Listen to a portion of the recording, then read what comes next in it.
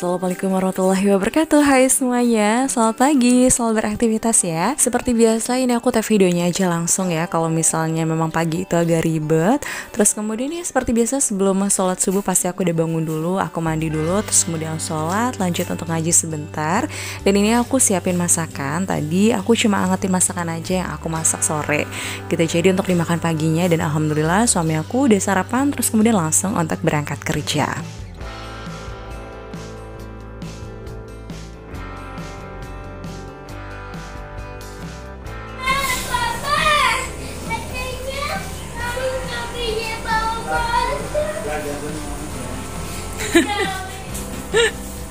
Ntar mama belajar dulu ya udah ya udah mama dorong dorong di situ tuh muter-muter sini gerbang.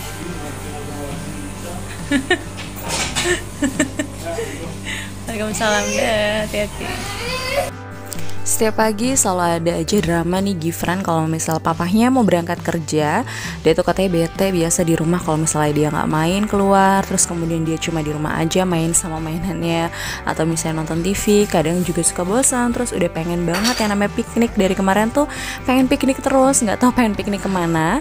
Tapi dia tuh pengen jalan-jalan aja gitu ya. Dan aku memang nggak bisa bawa kendaraan kan ya Jadi agak repot. Dan kalau misalnya ke mana-mana pasti aku nunggu suami Atau misalnya aku minta jemput nih sama kakakku untuk sekedar jalan-jalan atau misalnya main ke rumahnya.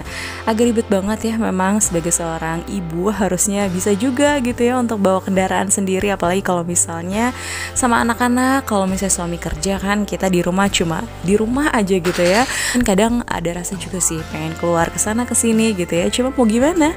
Karena memang aku sama sekali nggak bisa bawa kendaraan. Ya udah siang harinya tadi aku sempat udah masak juga sih buat anak-anak paginya. Terus siang hari ini nggak begitu siang sih. Pokoknya masih sekitar pukul 10 pagi aku minta jemput sama kakakku untuk jalan-jalan yuk gitu. Terus kemudian juga dia sekalian minta antar kita untuk cari kacamata. Ini kakakku juga dari tadi memang sudah sampai. Terus tadi aku siap-siapin juga untuk makanan yang bakalan dibawa untuk makan siang karena tadi kan aku juga masak. Sayang banget kalau misalnya nanti nggak kemakan gitu ya. Pokoknya kayak gitu kalau misalnya aku pengen ke rumah dia atau misalnya sekedar jalan-jalan aku pasti minta jemput gitu ya ke rumah. Atau enggak aku bisa pesen taksi online atau misalnya ojek online pokoknya memang dibawa santai aja sih. Aku juga nggak begitu terlalu musingin banget. Aku nggak bisa bawa kendaraan apa apa tapi mudah-mudahan aku bisa belajar nanti. Ya seenggaknya aku bisa bawa motor mungkin nanti untuk antar jemput anak sekolah. Meskipun juga banyak sih sebenarnya kayak misalnya antar jemput sekolah kan ada tuh ya. Cuman ya itu dia kayaknya rasanya pengen belajar aja untuk bisa bawa kendaraan sendiri. Mudah-mudahan di lain waktu aku bisa belajar. Nanti anak aku udah mulai sekolah takutnya repot banget gitu ya. Ada acara ke sana ke sini. Semoga saja bisa. Doakan ya teman-teman. Semoga aku bisa belajar uh, bawa kendaraan sendiri supaya nggak ngerepotin orang terus dan ini aku udah siap-siap, aku udah bawain semua perlengkapan yang bakalan aku bawa nanti ke rumah kakakku. Tapi sebelumnya, seperti aku bilang tadi, kalau misal aku bakalan antar kakakku untuk cari kacamata.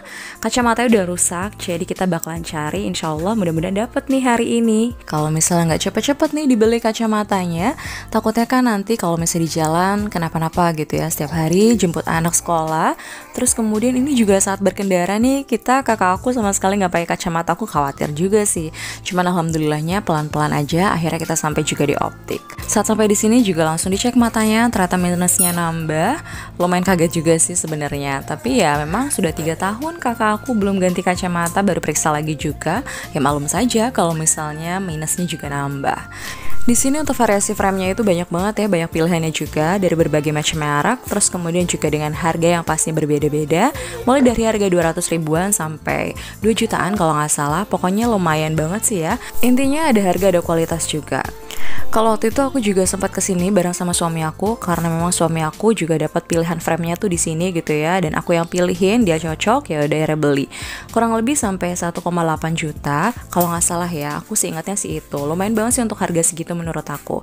Tapi bagi aku kalau misalnya dipakai memang sehari-hari apalagi suamiku kerja gitu ya, setiap hari dipakai gitu ya butuh banget terus juga minusnya udah lumayan banget gitu ya. Kenapa enggak pilih yang nyaman. Tapi kalau misalnya kakakku tadi juga udah sempet sih dapat pilihan frame-nya tuh yang lumayan gitu ya dengan harga 1,3 atau 1,6 aku lupa. Tapi menurut aku aku bilang sama dia, coba cari yang lain deh kalau misalnya harga segitu, kamu kan gak dipakai setiap hari gitu ya. Paling cuma untuk jemput anak sekolah atau misalnya cuma sekedar baca atau misalnya nulis gitu ya. Kalau misalkan suami aku kan beda. Terus mungkin aku juga nggak tahu sih sebenarnya harga kacamata tuh berapa ya.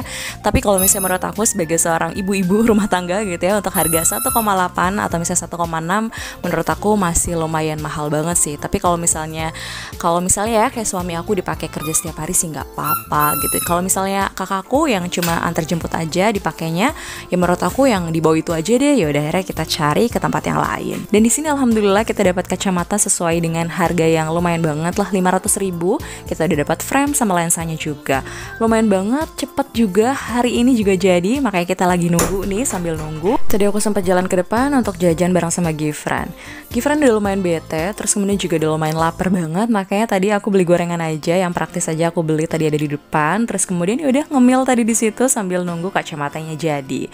Pokoknya bener-bener hari ini jadwalnya adalah nemenin kakakku cari kacamata. Lumayan banget sebenarnya tadi ya, sampai siang bener-bener panas banget, super panas banget tadi kita tuh jalan-jalan keliling-keliling kayak gitu, lumayan banget sih ya. Healing sebentar di luar, panas-panasan bareng sama anak-anak, tapi seru juga.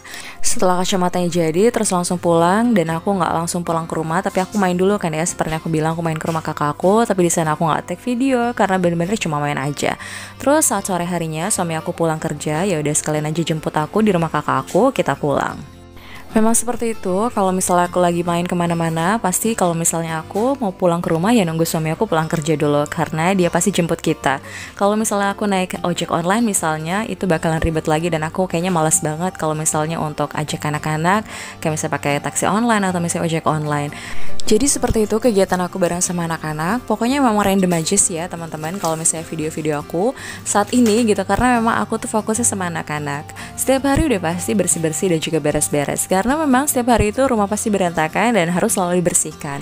Dan sesekali waktu kalau misalnya memang ada waktu terus kemudian juga lagi bete di rumah ya udah aku langsung aja ke rumah kakakku untuk main di sana.